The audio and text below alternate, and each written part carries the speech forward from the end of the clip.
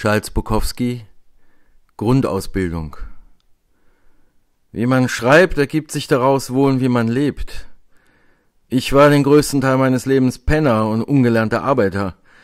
Die Gespräche, die ich mitbekam, waren nicht gerade gelehrt, und meine Beziehungen zu den Spitzen der Gesellschaft hielten sich in Grenzen. Ich lag in der Gosse. Ich war ein bisschen verrückt, aber es war eine seltsame Verrücktheit, denn ich habe sie gepflegt.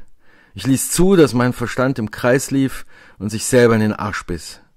Ich gab meinem Affen Zucker, näherte meine Vorurteile. Einsamkeit war mein Trumpf. Ich brauchte sie, um meine Realität aufzuplustern. Nichts tun war mir wirklich wichtig. Es war meine Droge. Für mich allein sein war mein Asyl. In einer Stadt fand ich einen verlassenen Friedhof, wo ich in den Mittagsstunden meinen Kater ausschlief, in der anderen Stadt saß ich stundenlang an einem dreckigen, stinkenden Kanal, ohne auch nur nachzudenken. Ich brauchte Stunden, Tage, Wochen, Jahre für mich allein. Ich suchte mir kleine Zimmer, in denen ich hungerte. Ich verstand's, mit wenig Geld sehr lange auszukommen. Der Zeit opferte ich alles und dem nicht dazugehören. Mein Essen bestand im Allgemeinen aus einem Schokoriegel täglich. Eine Flasche billiger Wein war das teuerste, was ich mir leistete. Ich rauchte selbstgedrehte und schrieb hunderte Shortstories, die meisten in Tinte mit der Hand. Die Schreibmaschine war öfter beim Pfandleiher als bei mir. Um die Menschen zu studieren, pflanzte ich mich auf den Barhocker und schnorrte Drinks. Mit 1,83 brachte ich oft nur 65 Kilo auf die Waage, stockbesoffen. Ich war der original dünne Mann mit der Meise unterm Pony. Unglücklich war ich nicht. Ich genoss förmlich meine Armut. Hungern ist nur in den ersten zwei, drei Tagen schwierig. Danach kommt man in einen merkwürdigen Rauschzustand. Treppen schwebt man runter, das Sonnenlicht wird sehr hell, Geräusche werden sehr laut. Die Wahrnehmung verschärft sich. Sie verschärft sich, statt nachzulassen. Feiertage und weltbewegende Ereignisse waren für mich ohne Bedeutung. Ich wusste zwar nicht genau, was ich wollte, aber ich war relativ gesund. Und mit dem Alleinsein hatte ich kein Problem. Das Problematischste waren meine Zähne. Unerhörte Zahnschmerzen machten mir zu schaffen. Ich wischte den Wein im Mund rum und rotierte durchs Zimmer. Die Zähne lockerten sich. Ich konnte mit den Fingern dran wackeln. Manchmal hatte ich dann einen Zahn in der Hand. Schon seltsam. In den Bibliotheken las ich neben vielem anderen die Literaturzeitschriften und es verblüffte mich, was so als Edelschreiberei durchging, farbloser Mischmasch unter glatter Oberfläche. Es gab nix Gewagtes, kein Licht, kein Spaß.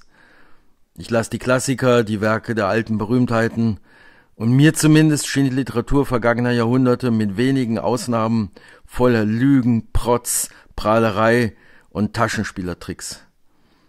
Ich wusste nicht, was ich tat, und ich wusste es doch konzentrierte mich mehr darauf, wo ich hin wollte. Im Laufschritt näherte ich mich meinem Hausgott Einfachheit.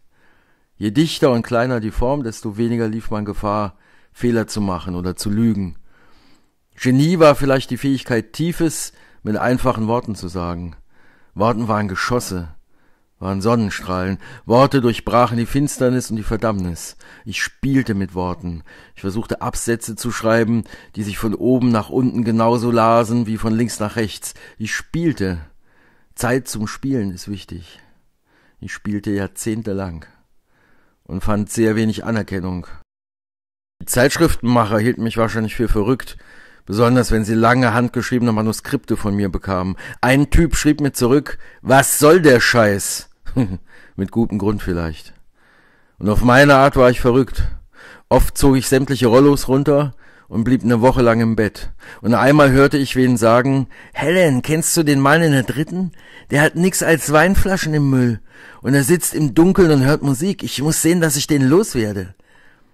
Sowas wie Frauen, Autos und später das Fernsehen kam in meinem Leben kaum vor. Frauen hin und wieder schon, ganz selten mal, aber nicht die feinste Sorte. Du bist der erste Mann ohne Fernseher, den ich kenne. Quatsch nicht, Baby, lass mich Bein sehen. Nach Jahrzehnten kleiner Zimmer, Parkbänke, schlimmster Jobs, schlimmster Frauen, kam endlich was von meinen Texten an, hauptsächlich bei kleinen Zeitschriften und Pornomagazinen. Die Die Pornohefte waren für mich ein toller Abnehmer. Man konnte schreiben, was man wollte, je direkter, desto besser. Und endlich Einfachheit und Freiheit zwischen hochglänzenden Mösenfotos.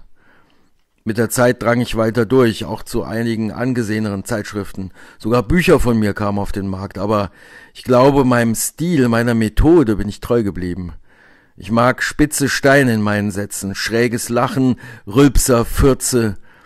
Ich ärgere zwar immer noch die Leute, aber ich schreibe nicht, um die Leute zu ärgern. Das geht zu leicht. Voriges Jahr hat uns die Mutter meiner Frau besucht, die nur zehn Jahre älter ist als ich. Als ich eines Abends von der Rennbahn nach Hause kam, las sie in einem meiner Bücher. Ich habe ihr das gegeben, sagte meine Frau. Wozu? frag ich.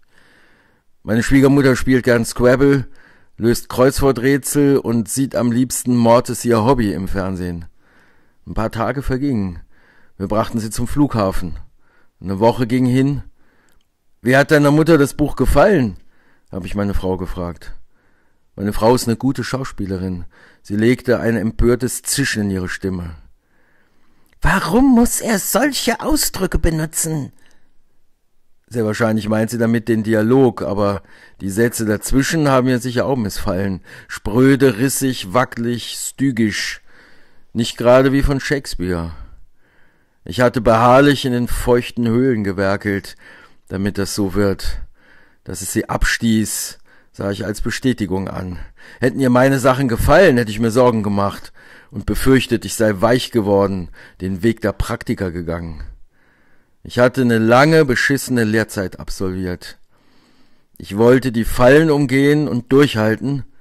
Ich wollte an der Maschine sterben, mit einer Flasche Wein zur Linken und vielleicht Mozart aus dem Radio zu meiner Rechten.